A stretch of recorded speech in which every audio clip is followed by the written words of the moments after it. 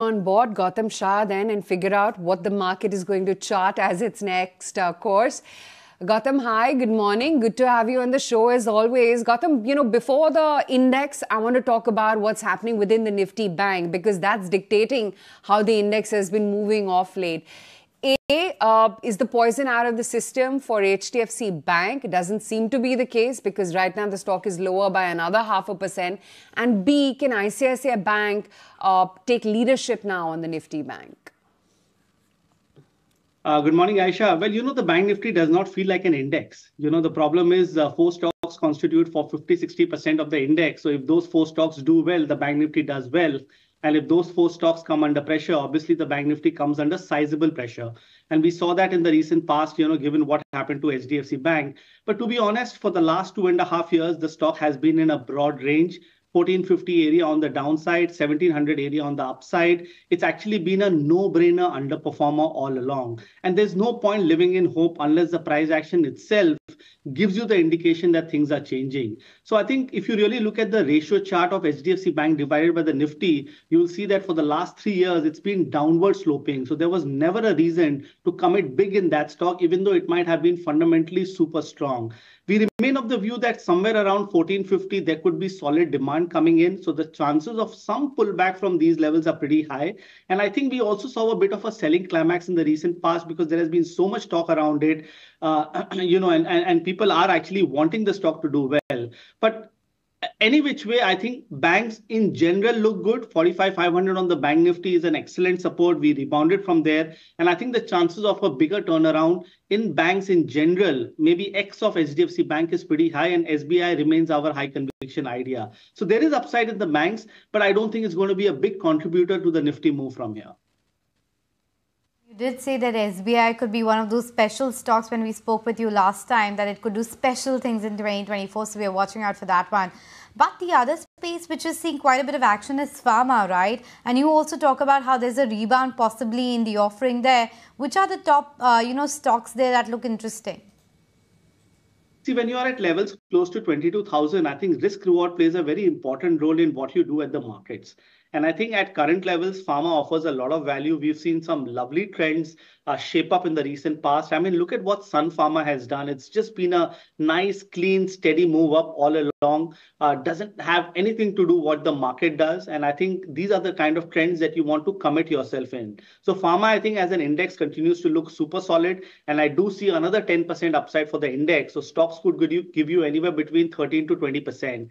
Within the pharma space, Sun Pharma, Dr. Reddy's, Divi's Lab, and Cipla, you know, which came out with results and it's uh, reacting today, all look super solid on the charts. And I still believe that at these levels also for the market, uh, one should commit into pharma because I think this is a trend that is going to continue for the next couple of quarters. So pharma and IT are actually our favorites in the current market from a risk reward angle. In IT, then, if we were to get stock specific, given that you're talking about it being an outperformer? Well, yeah, I think our working target for the IT index has been about 39,000. So I think we will get there gradually. Midcap IT has already seen a very smart move in the recent past and continues to run up. I mean, look at stocks like Persistent, Mastek, uh, LTTS, Coforge, uh, you know, Mphasis. All of these stocks, I feel, have the potential to go up another 10 to 20 percent, uh, maybe even more if you have a slightly longer term time frame. And if you look at the large cap IT stocks, I think the kind of rebound that we saw post Infosys results, I think just just changed the game to some sense. I think smart money is trying to get in there. Institutions are far more convinced about buying into IT, and it is probably one of the few indices in the market to be far away from lifetime highs. So I think it offers great value even at these prices. It's not overbought, it's not overly valued. And I think there is some sense of the earnings in the next couple of quarters. So I think all the top stocks with TCS being our favorite, followed by HCL Tech, Infosys, Tech Mahindra, and then Wipro. Gautam, have to shift uh, stance to what's happening within the broader markets, right? And railways, uh, look at the kind of move that you've seen in this entire sector just last week alone. I mean, we were just looking at the valuations of an RVNL, IRFC, IRCON, etc. Any of these names that you tra uh, track, and do you really think the momentum is going to sustain? You know, we were very bullish on it all along because I thought that the breakouts were very clean. And remember, these are stocks, so this is a theme that broke out after doing nothing for about five to six years. So it's understandable that it's seen such a rally. But now the rally has become parabolic. I think it's beyond fundamentals and it's beyond technicals. So these are levels where one can easily take profits. In fact, we have been recommending to take profits in the recent past. And I think the rally is a little overdone. You might miss the last phase of the rally, which is okay. But I think the risks of holding railway stocks or adding railway stocks at these levels is pretty high. Yes, it might be a three year theme, five year theme, but somebody who's looking at three to six months, I don't think these are levels where you can commit. So take profits, move to other spaces in the market. There are newer sectors, newer themes which are, you know, coming out of hibernation, and you rather concentrate on them. Let's have that list then, Gautam. What is it that you see coming out of hibernation, and where is it that we can put uh, fresh money to work? I think metals have started to look quite interesting. So we've been watching uh, many of the met top metal stocks very closely. I mean, look at a Nalco. I feel it's a very high conviction idea for us for the whole of 2024. I think it can deliver super normal returns. Steel Authority of India, Tata Steel, JSW Steel. I, I feel that all of these stocks, maybe they might not mirror the move of railway, but definitely, uh, you know, it's going to beat the Nifty returns for sure for the next two to three quarters. Auto ancillary, I think, is a very interesting space that we like. Fertilizer, I think, is a space that we like. Paper, paper stocks, you know, we just recommended J- JK Paper a few days back. That's a space that we like. And that entire unlock theme, you know, which is airlines, hotels, I think this is a big theme that's going to continue in play. So if you look at Indigo, you look at, uh, you know, uh, uh, uh some of the uh, some of the other uh, Indian hotels, Lemon Tree, uh, and some of the other unlock theme stocks like uh, Sapphire Foods, uh, Devyani International. I feel these are stocks, you know, which are very good on fundamentals and haven't done as well as some of the other themes in the market. So they should do quite well. Let's talk about the frontline index itself, Gautam. Um, as far as the Nifty is concerned, where do you see that one headed? Because uh, for the interim, people believe that we have already made a bit of a top for the at least next five to six months. Would you concur with the view? Or are you expecting a pre-budget and a pre-election rally as well? Well, five, six months is too long to look into the future because, you know, these days the world changes in about a quarter. Uh, and uh, you know recent highs are just 3% away. So i don't think i'm in a position to to say that we topped out. But i do believe that 22 200 300 is an important resistance. It might not get taken out in a hurry. It might maybe take a few weeks. And on the downside the 21 300 area is an important support. And after the kind of rally that you saw in november and december if the nifty just stays in this band for another few weeks maybe until the budget or just slightly post the budget that's actually the best case scenario because you want bull markets to go through consolidations, you know, rotational corrections, which is what we've seen in the recent past. So I'm actually very happy if the Nifty is boring because there are much better opportunities outside of the Nifty. Look at the Nifty Next 50 index. Obviously, the mid caps and small cap space, which is, continues to buzz despite all the overbought signs on the charts. Okay, and what about the metal sector as a whole, uh, Gautam? Is that something that you would be avoiding or looking at selectively? And if so, which stocks?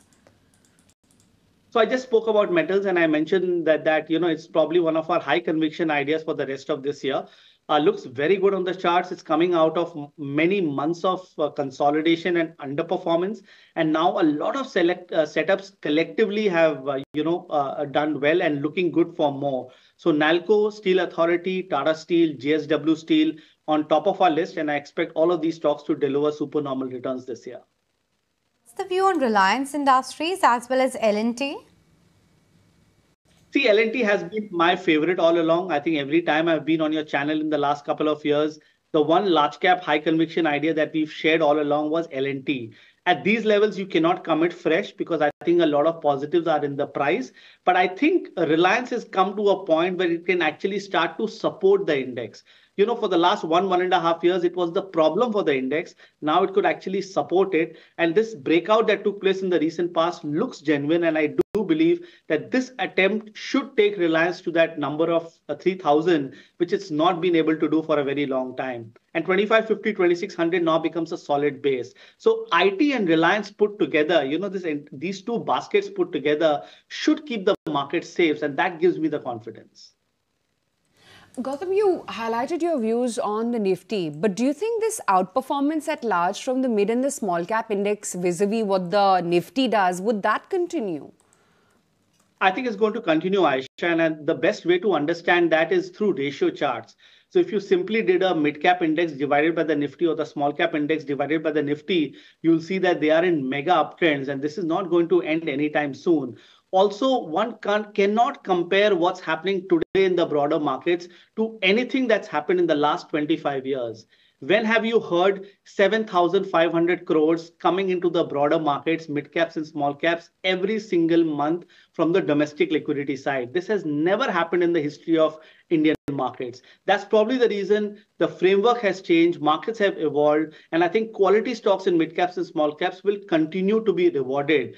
Grade C and grade D, you need to be very careful because everything is moving at the same time. But if you stick to grade A and B in mid caps and small caps, you will still be rewarded even at these levels. You flagged off railways. What are the other spaces where you think there's the amber light and the warning signal, and one needs to either avoid or at least profit take? See, I think there's no uh, red flags or warning signals as such because many of these are structural stories. But there has to be a point where you have to take a call to take profits. I think uh, that's a call that we are taking in railway stocks. That's a call that we are taking in real estate. We've been very bullish on it for the last couple of years. I think from a near term perspective, it's a little overdone. So, real estate, select auto stocks, uh, you know, I, I, and uh, um, uh, if you look at capital goods, I think that's also had a wonderful run up in the last two and a half years. That's also looking quite overbought. So stay away from these segments and look to commit in IT, pharma, metals, select banks, and select chemical stocks.